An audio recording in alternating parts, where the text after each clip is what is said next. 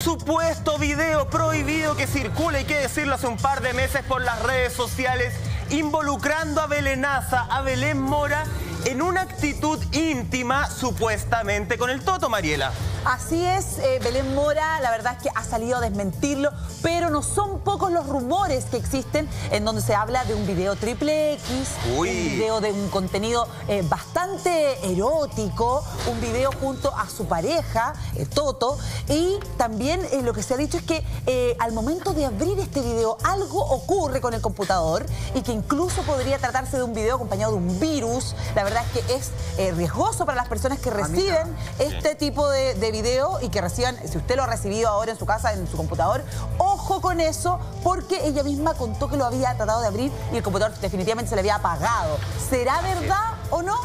Así es, y lo importante también es que nuestra gráfica lo dice, no existe tal video prohibido mío. Belén Mora enfrenta justamente esta situación a través de las redes sociales, a través también de, de las cámaras de televisión, asegurando que no existe tal video, un video, Nati, que de alguna forma te hace una invitación en un español mezclado con portugués y que la, la, la foto de principio, la foto de inicio es de ella en la cama, que es una fotografía que ella había subido en otras instancias a las redes sociales. Así también. es. En todo caso, me gusta la actitud de Belén porque ella se lo toma con bastante humor. Porque ella dice, famosa a nivel que tengo un video triple X y además que me mataron en redes sociales. Porque no solamente... ¿También la mataron? Así es, dijeron que Belén había, la habían encontrado fallecida. Entonces ella se lo toma con humor y muchos de sus fanáticos también y dicen, oye, te falta aparecer solamente en el puzzle para que seas inmortal. O sea, Claro. finalmente es a los famosos, a los grandes famosos que finalmente se especula que, que han fallecido, los matan en redes sociales y también que tienen sus videos prohibidos. Parte de los argumentos de Belén Claudia son yo estoy tranquila porque jamás he hecho este tipo de videos. Pero ¿qué pasará con algún famoso que sabe que por ahí hizo el video y le empiezan a inventar esto? Ay, Porque bueno, parte como un invento, eso es lo que suponemos por las palabras de Belén. Ahí yo creo que si uno tiene algún videíto por ahí o alguna cosa que cree que hizo pero no hizo, no se acuerda porque capaz que estaba un poco...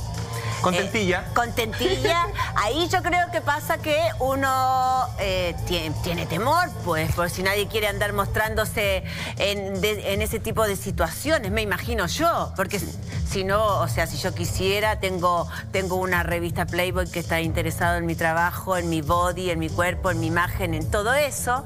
Y eh, aprovecharía sacarle partido. No voy a andar filtrando un video así a potope. Gratis. Porque, porque A- sí, gratis, po, o sea, de donde la vio.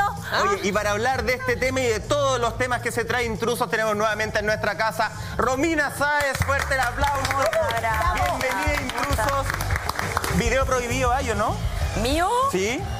No que recuerde, ¿cierto, Ron? No que me acuerdo. Mira, lo pensó, me, lo ayudó, pensó. no. me, me ayudó claramente. Yo que sepa, con mi consentimiento, no, fíjate. Oye, ¿te ha pasado este tipo de situaciones, Romina? Tú estuviste en, en Mecano, un exitazo, que empezaran a inventar situaciones como, tengo un video tuyo, sé que algo te pasó, cuidado, porque puede tomarse como una extorsión incluso en algún minuto. Lo que se hacía muchas veces cuando existía esto de las mecanografías, que de repente nos hacían grabar cosas que en realidad no eran, así claramente. ¿Cómo? Cosas como para llamar la atención, no sé, un ejemplo. Eh, Como paraseo armado. Parecer claro, como que ustedes dos se ponen a conversar ahí y de repente aparece como que Ah. los pillamos y ustedes cada uno por su lado. Como cosas así, lógicamente se crean para tener un poco más de expectativas, pero en realidad. El famoso no tongo. resulta. El tongo, lo muy conocido como el tongo. Pero la verdad, videos no. Fotografías, fíjate que me le hicieron. ¿En serio? Sí, ya se van a poner todo a buscar ahí la cuestión, como que la anduve embarrando, parece. ¿Pero fotografía como prohibida o te trucaron? No, no, no, no, no. Son unas fotografías que actualmente, antiguamente uno hacía por un portal de internet muy conocido, que ya no, no está. Eh, y esta fotografía, haciéndole un efecto como de luz, provocaba algo que no era. Pero eh, mi mami, que me conoce, me miró eh, y dijo, este no es el cuerpito de mi niña, dijo, está arreglado. Qué vergüenza que te vea tu mamá Qué en una cosa vergüenza. así. Yo es lo que más me da miedo algún día, que me vea mi mamá. Mi papá, me muero. Pero me le- muero, esa gente se muere.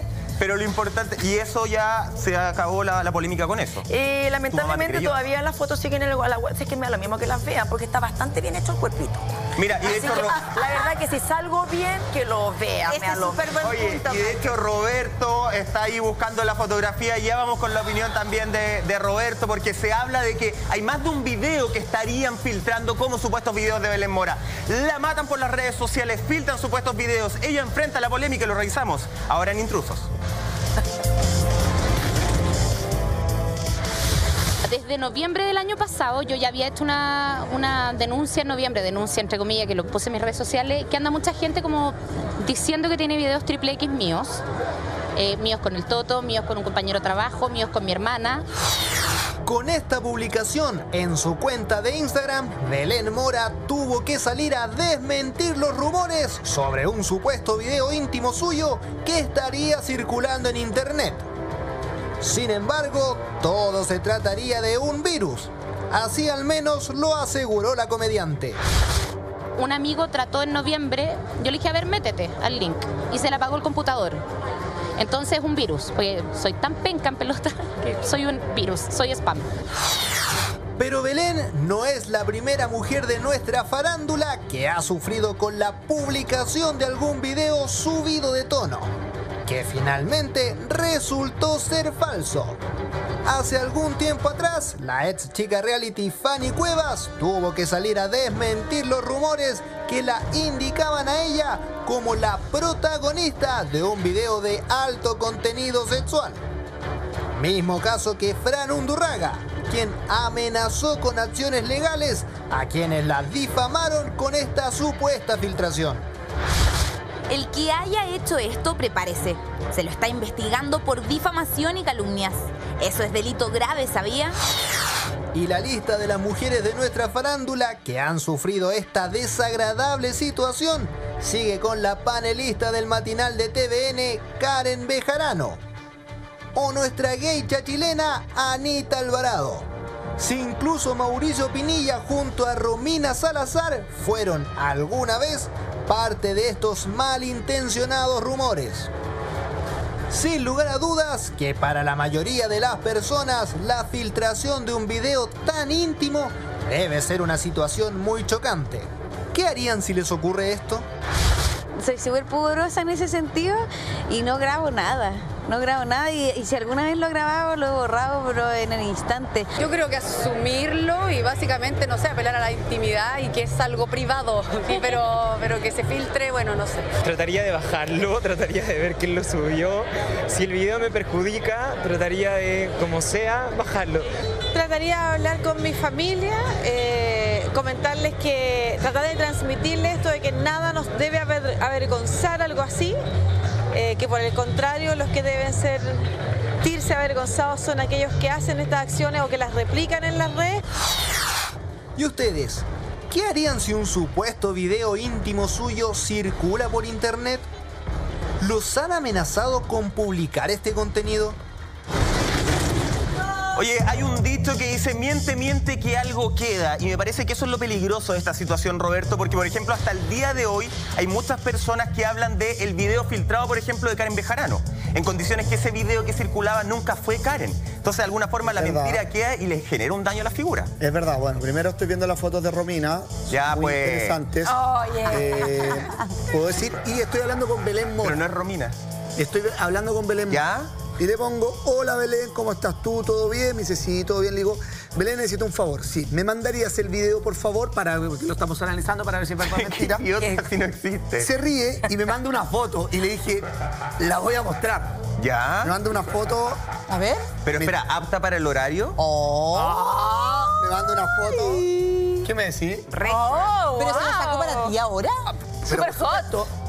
Oye, estupenda, Belén, Mira, guapa. de- ese tipo de fotos las que tiene en la portada del supuesto Le- video. le- estoy Pero esperando el permiso para mostrarla. Estoy esperando el permiso para mostrarla, pero hablando ya un poco más en, en serio, claro, eh, es una muy mala talla, es una talla muy fome en donde en muchas ocasiones también involucran a personas que tienen familia, personas que tienen hijos y hay que eh, tener muy en claro que lamentablemente esta noticia sea verdadera o sea falsa, hablo de un video en general Queda. con alguien del mundo del espectáculo, queda ahí queda ahí, ¿cachai? Entonces, por ejemplo, hoy día los niños, como ayer eh, decía nuestra candidata Huachaca, eh, Eso. eh, no sé, po, eh, quiero buscar a mi mamá, Mariela Tanto, pum, lo primero que va a salir va a ser supuestamente este video y eso puede también ser sinónimo, por ejemplo, para bullying en los colegios, para chistes, entre otras cosas. Entonces, me parece de mal gusto la talla, muy fome. Lo que sí me gustaría ver al Toto porque me dice que es bien, Ya, pues claro, porque el video se vende. Es interesante el, el punto que toma Roberto, porque de alguna forma se- el, el video se vende como de Belén y Toto, Nati. Sí.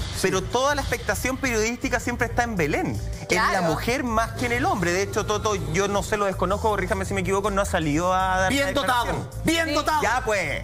Sí, bueno, y de hecho, públicamente siempre sabemos de imágenes y de videos de mujeres famosas, mucho menos de hombres famosos. Yo lo único como que recuerdo es como unas fotos de Fabricio, que eran fotos permitidas por él. Perdón, no- ¿cómo olvidar eso? No, Imposible, Y las fotos ¿no? del Manguera, Imposible. las fotos del Manguera con de, de Gonzalo Valenzuela. ¿De qué te acuerdas de esas fotos? De La fotos de. Gonzalo Valenzuela con Bueno, la verdad que las analicé súper bien. y- Ya, pues. La musculatura, la musculatura. ¿no? Claro, claro. Aunque ¿sabéis qué? Manguera no encuentro ni un brillo yo. No, no. Oye. ¿Y qué estupendo, estupendo. Nati, termine su idea. Claro, voy a terminar mi idea, pero parece que está sonando Hay el pajarito azul. Así que vamos con este mensaje que es de Vanessa Arias. Dice, ayer vi una publicación en Facebook con la foto de Cote Quintanilla y con el mismo texto del supuesto video de Belén, video sexual en el trabajo. Vanessa, gracias por tu mensaje y por contarnos esto. Bueno, también han, han salido fotos de un montón de famosas trucadas. Me acuerdo una, por ejemplo, de Kenita Larraín, donde ella dijo, oye, esa no soy yo, yo soy mucho mejor. Me acuerdo que Muy salía ella, desnuda. Y ¿sabes qué? Estamos viendo el lado negativo, por supuesto, que, que es terrible, que es una violación en muchos casos de la privacidad de las mujeres, de los hombres, eh, pero también tiene una parte positiva. ¿Cuál? Eh, ¿Cuál sería esa? tiene una parte positiva eh, para la industria, el tema, porque finalmente las personas que tienen fotos prohibidas, siempre, viéndolo de ese lado, eh, son las más buscadas en Google. Siempre cuando termina la lista del año de las 10 cosas más buscadas, son los videos de, esta- de estas personas que tienen estos videos prohibidos. Y, por ejemplo, hay personas que han rentabilizado a través de esto, como por ejemplo Kim Kardashian. Ya, pero- Kim pero- Kardashian que parte su carrera desde un video prohibido. Pero a mí me da la sensación de que en Chile es mucho más castigado, porque lo que el ejemplo que tú das, ella se transforma en celebridades a partir de ese video que incluso se especulaba en algún minuto, Claudia, que la misma mamá lo había filtrado este video para poder generar Claro. esto. Pero en los casos chilenos, yo me acuerdo el de María José Quintanilla, ya que sale en la palestra a través, a través del tuit, Dios. ese fue tremendo. María José era una chiquilla, creo, una actriz porno que se parecía a María José Quintanilla y María José Quintanilla hasta el cansancio tuvo que salir a desmentir que fueran las fotos del baño que fueran ella efectivamente.